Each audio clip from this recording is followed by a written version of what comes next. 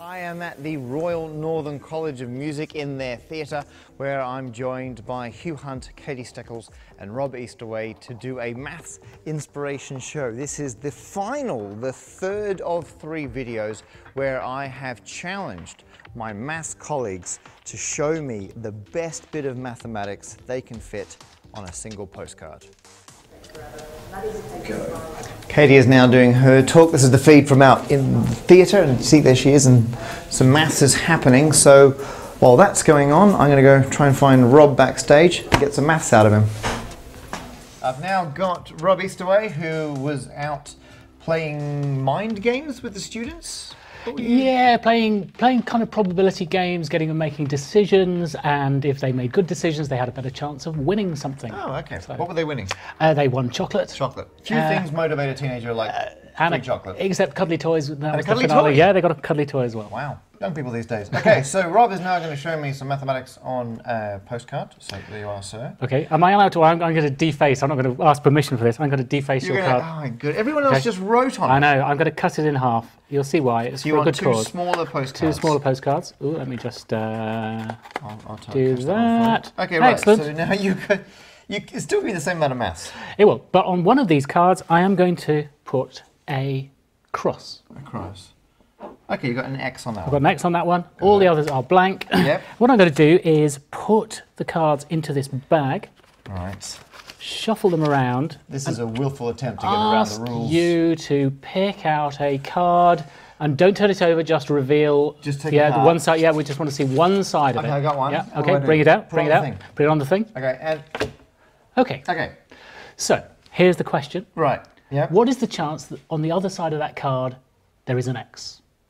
Oh, okay. So remember, we've got two cards. We've got ah. one that's double blank and one a blank, One a blank and, an and a thing. So Okay, you've got so- one of the two cards. I bet most people say 50-50 Most people do say 50p. I can see why. because there are yeah. two cards. Exactly, there are two cards, and one of them is the double blank, and one of them is the. I'm thinking, what am I looking at? I'm looking at a blank card. On the back could be either a blank card or a Yes, cross. yes. But actually, I could be looking at any one of three blank faces.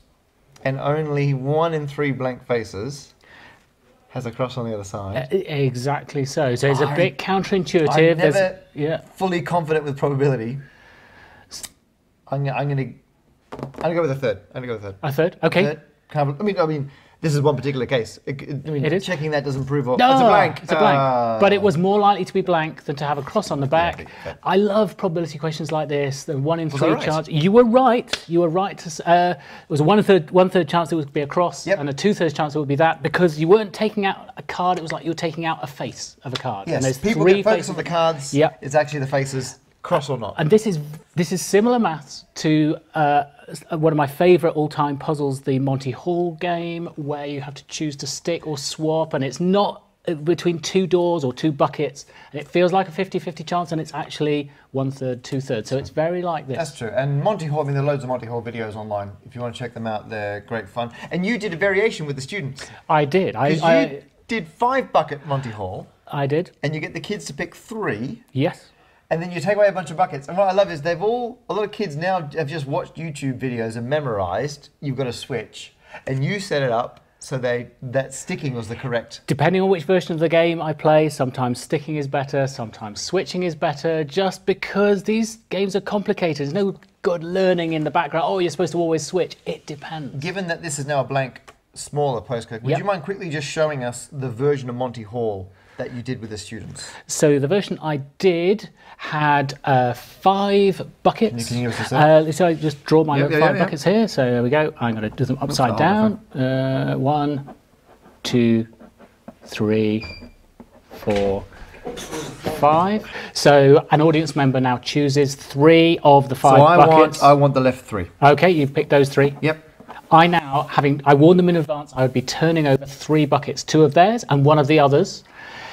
Buckets that I knew did not have the prize underneath it. That's the key. I had Right. to make it clear. So you take out, let's say you take out two of these. Yes. You take out one of those. Yes, so we're now And left with these We're two. left with those ones Yes, there. yes. And so now we You asked, did you want to stick or switch? Yes. But actually, this was a three fifths chance. Yes. It was here somewhere. Yes. Versus a two fifths, and so sticking is the correct. So sticking is better because that was 60% chance, that was 40% chance. So in So this case, stick. they oh, should that's stick. so good. All right, now uh, for completeness, can I have back the other half of my postcard?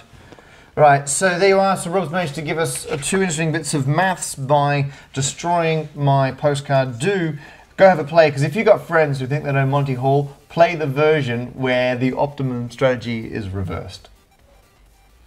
So that is one postcard's worth of mathematics. If you want to see the other two postcards worth of maths, you can check out the other two videos in the series. And if you are a teacher, we do these maths inspiration shows all around the UK. They're great fun. We have different speakers every time, and we thoroughly enjoy exciting your students with mathematics. And so they go back to the classroom, hopefully more eager to learn. You can check out more information on it at mathsinspiration.com. It'll be great to see you at one of these.